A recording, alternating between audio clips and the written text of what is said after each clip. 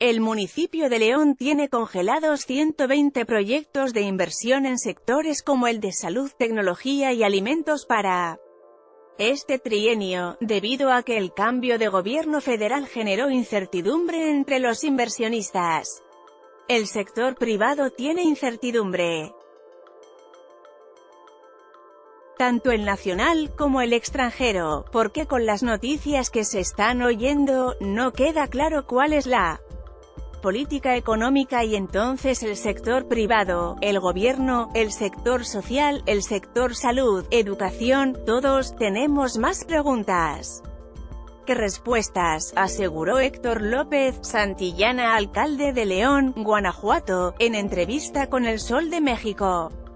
Pemex y CFE son poco transparentes. México evalúa el municipio aseguró que están de acuerdo con las acciones que quiere emprender el presidente de México, Andrés Manuel López Obrador, como el combate a la corrupción, la pobreza y el guachicoleo, pero le inquietan las formas en las que se enfrentaron los problemas en los primeros meses de la gestión, aunque el país no puede avanzar sin colaboración. Si hay algo que nos mueve y nos convence es que los retos de México son tan grandes que ninguno de nosotros los puede resolver solo, así sea el gobierno federal, el estatal o el municipal, mencionó.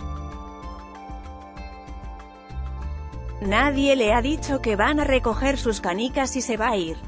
Están con el afán de ser pacientes? Las empresas y las inversiones nacionales y extranjeras que han llegado, todas ellas, son inversiones de largo plazo.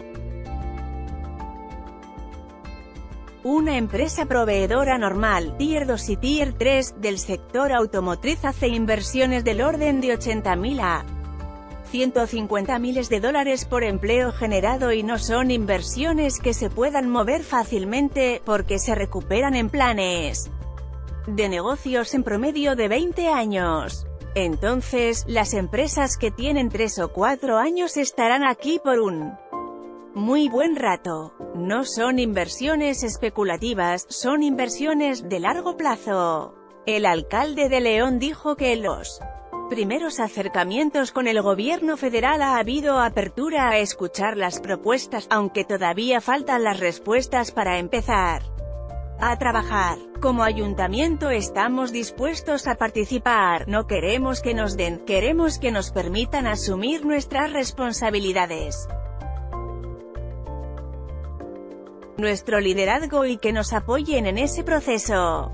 La tarea la queremos hacer nosotros, y con esa convicción estamos relacionándonos con el gobierno federal, aseguró. Nueva estrategia Escuchar hablar de León, Guanajuato, inmediatamente hace pensar en la industria del calzado y la marroquinería, pero la estrategia del municipio es diversificar hacia nuevos horizontes como la capacitación de capital humano. Industrias de alimentos basadas en la biotecnología, reforzar el sector automotriz, plástico, ciencias de la vida e inteligencia artificial. El futuro de León está avanzando rápidamente hacia esta economía basada en el conocimiento.